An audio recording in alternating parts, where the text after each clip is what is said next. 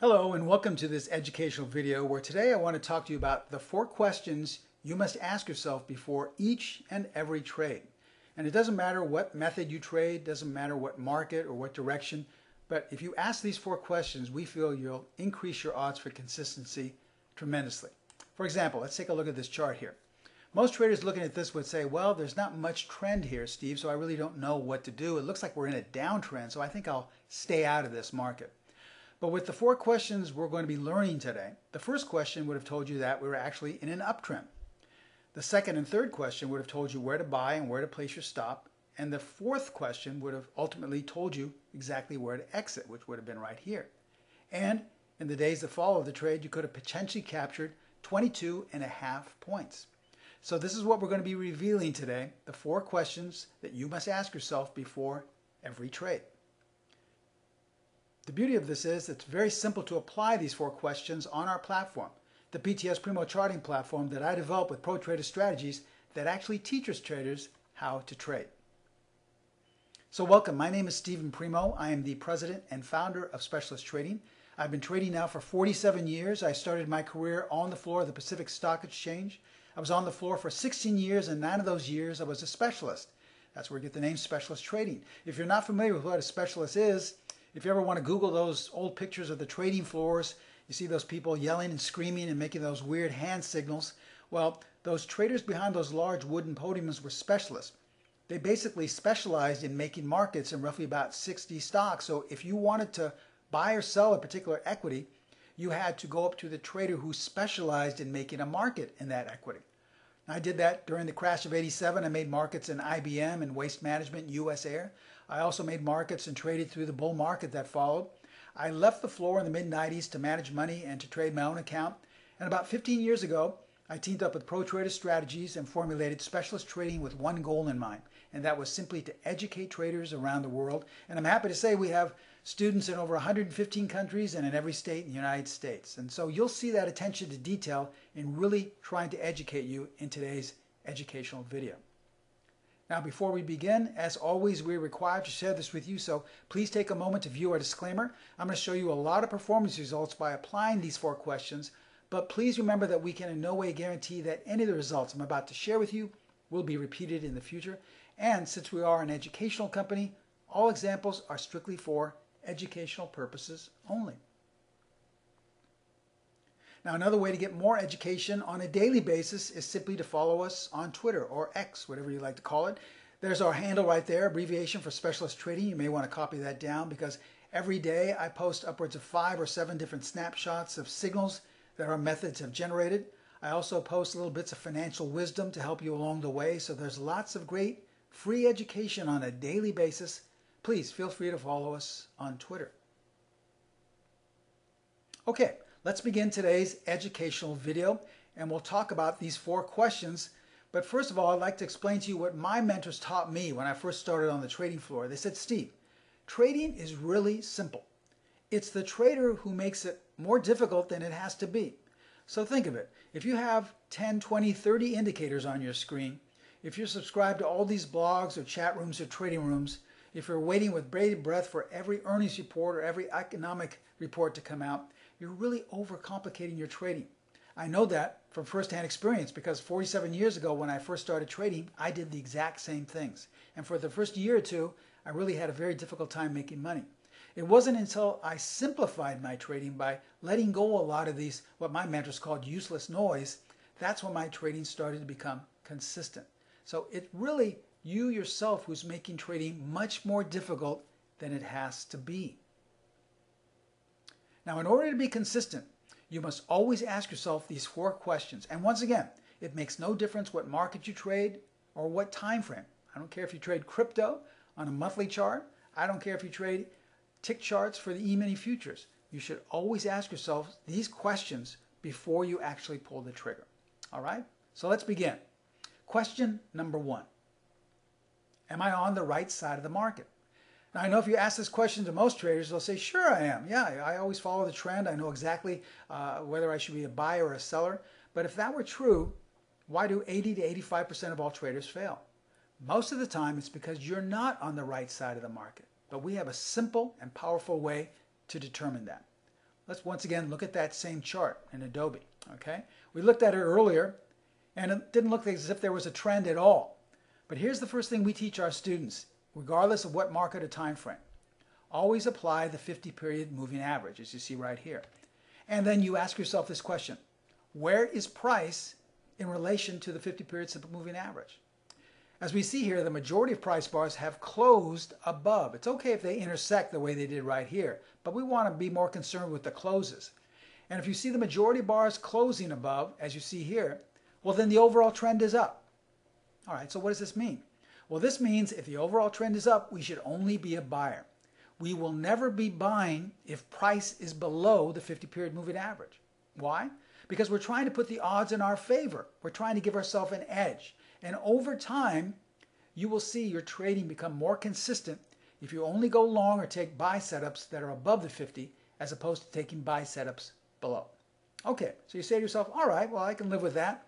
So uh, I was originally going to short this, you say to yourself, but now I guess I'll buy and okay, I'm a student of uh, candlesticks and what do I see here? Above the 50 period moving average, I see a bullish engulfing pattern. So that'll be my buy setup, but I will go long if we trade just above that bullish engulfing bar. Okay, that's a sound plan. Sounds good. You're in sync with question number one, which now leads us to question number two.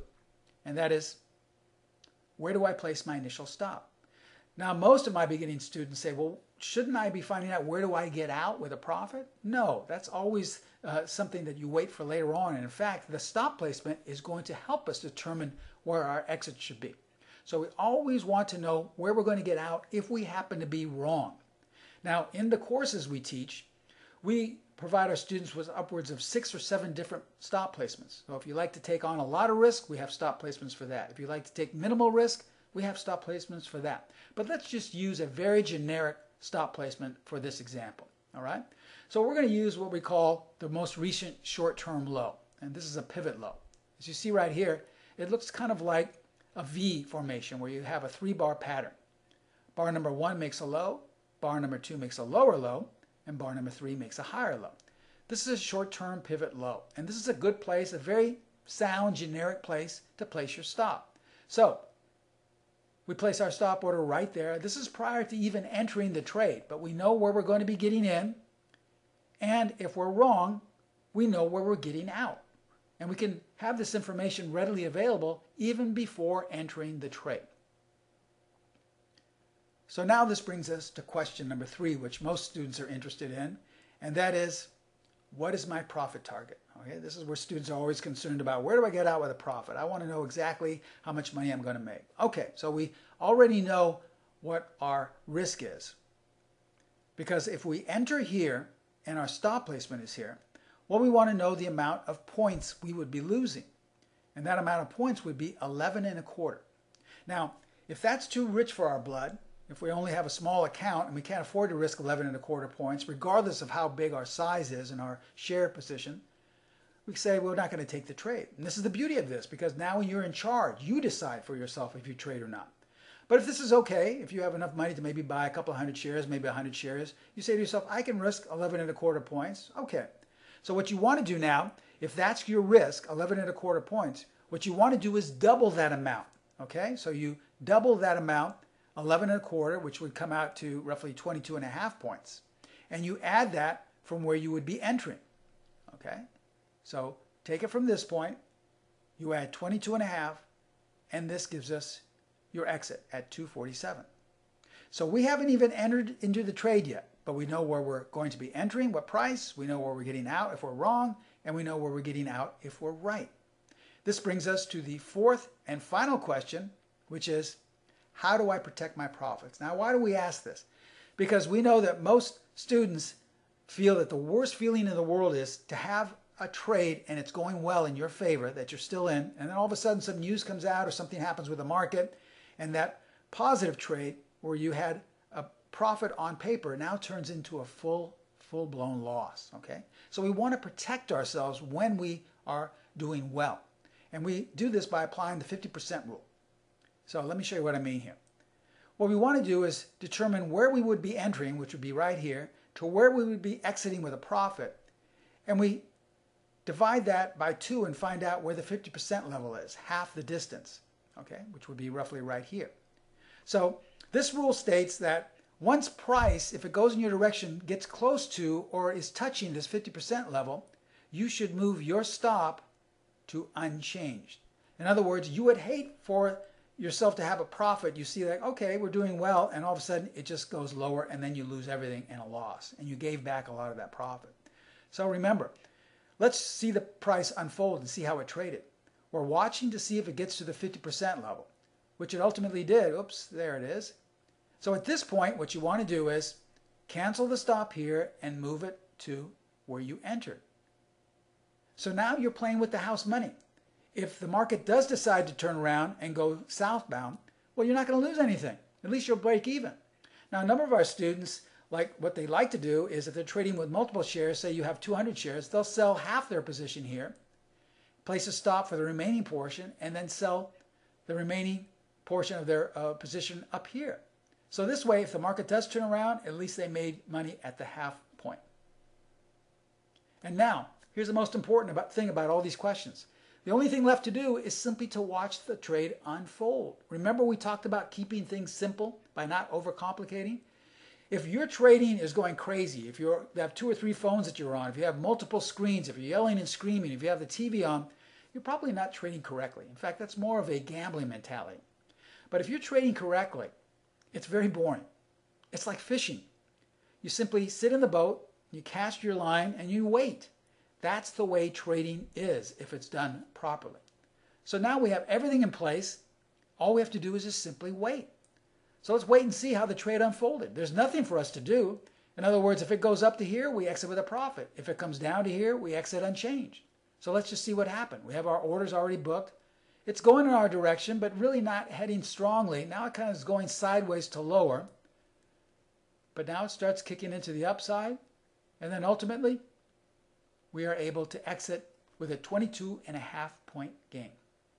You see how simple that was? We asked ourselves these four questions, and these are the four questions you must ask before each and every trade. Now, obviously, if you were going short, well, you would just turn the questions upside down and you would just watch everything from a seller's point of view. So, we have a great offer for everyone watching this educational video today. This is called our Secrets of a Stock Exchange Specialist. This is a video seminar. Some years ago, I was asked to be the head speaker at a conference in Denver, Colorado, and I spoke for three hours where I went into detail talking about many more high probability trading edges. I talked about which indicators not to use, the difference between a system versus a strategy, the number one chart pattern you should have in any method you're trading, how to be on the right side of the market, four different ways in which to do that. But here's the most important thing I spoke about in that video seminar. I gave the complete rules to one of our premier pullback strategies. That's strategy number one. If you noticed, we really just gave you four questions today and just gave you highlights and different ways in which to apply them to anything you're trading. But a lot of our students say, well, Steve, I'm new to trading. I don't have a strategy. Well, we'll give you the complete entry, exit, stop placement rules to strategy number one. Now, strategy number one is a pullback method. A pullback method is designed to look for a trend and then if it's an uptrend to buy at lower levels in an uptrend. If it's downtrend to sell at higher levels. Let me show you what I mean here in this example in ARHS. Uh, As we see, we have a full-on uptrend going. Now pullback traders and pullback methods like to buy at these lower levels. Okay? Let me show you how simple it is on our platform. All you have to do is click on strategy number one and it instantly shows you where the buy signals were right at these lows. And every time a buy signal was generated, look what happened. The trend resumed upwards. Buy at the very lows, trend goes upward. And this last setup that was generated, look what happened in the following days. Right back up. Now this can also work to the downside. We have kind of slightly lower drifting market, but strategy number one generated a sell signal. And look what happened. 25 points lower in the next week. Now we've all seen how strong NVIDIA has been lately but it started to fall out of bed and go south, where a lot of people thought we had topped out and it was going to make lower lows. Strategy number one generated a buy signal. And days later, it was 250 points higher.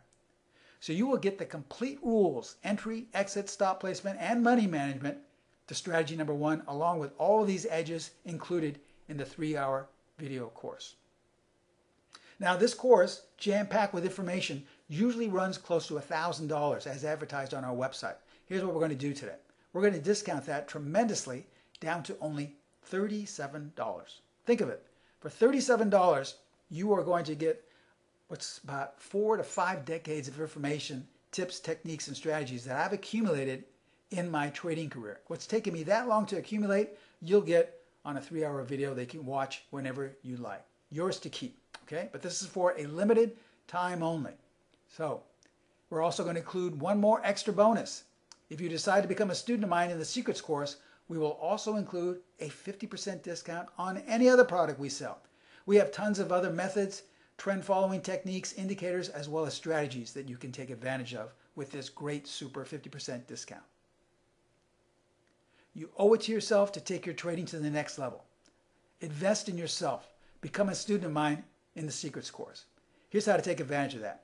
Contact my sister site, Pro Trader Strategies. You can call them directly at area code 310 598 6677. They have trading consultants manning the phones right now. Or you can copy and paste that link. It's not a live link, but you can copy and paste that onto a browser and go to the info page and sign up page online if you'd like. Okay. Either way, you're going to take advantage of this great, great deep discount, and you'll be a student of mine as well.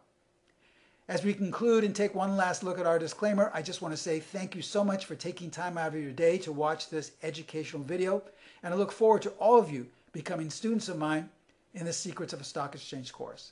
Thank you so much. Have a great day, and I wish you all the best of luck in trading.